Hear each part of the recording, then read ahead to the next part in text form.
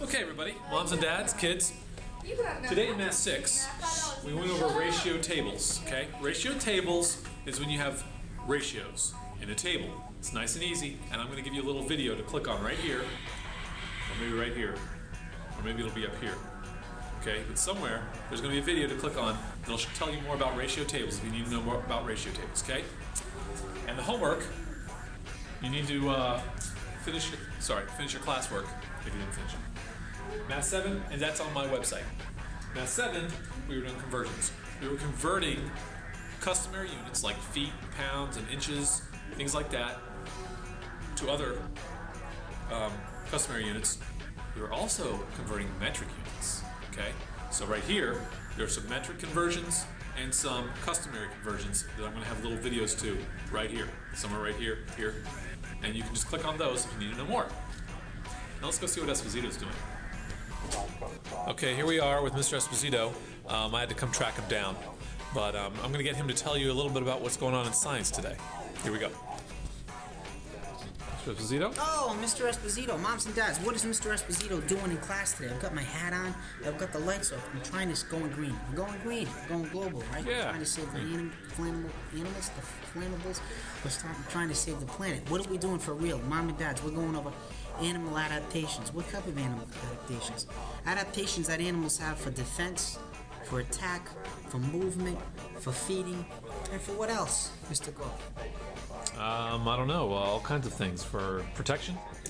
Protection. Protection. Yeah, he's right, Miss Moms and uh, boys and girls. Not protection, but hiding. So today we went over adaptations for attack, adaptations for defense, and adaptations for hiding. In fact, what he's talking about with uh, adaptations for hiding is we've got camouflage. Some animals they use camouflage to protect themselves, like uh, chameleons, uh, stick bugs. Some want to look like sticks. Or an organism comes along doesn't even know it's an animal, doesn't attack it. Or a praying mantis, or a little leaf little leaf bu- bugs. They look like leaves. They attack them. And also, what they do is they use not only camouflage, but they use a thing called mimicry. What's mimicry?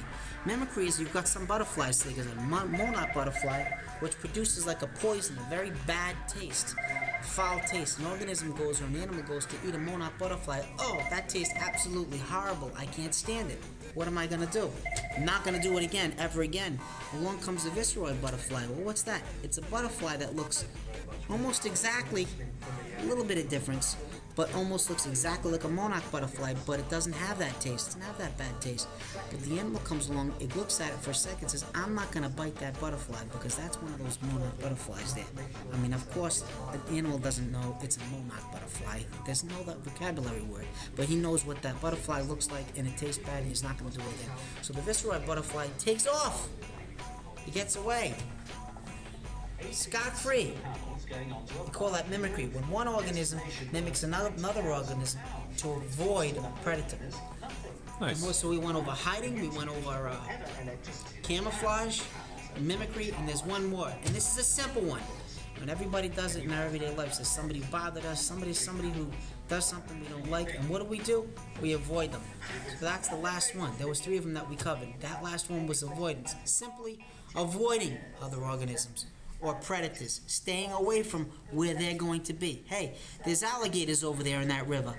It'd be a good idea not to go swimming there. Avoid it. Avoid it by all means necessary. Whatever you have to avoid the river. Hey, there's other places where you can go swimming. You don't have to go swimming with there's alligators. Gabish? Excellent. Now,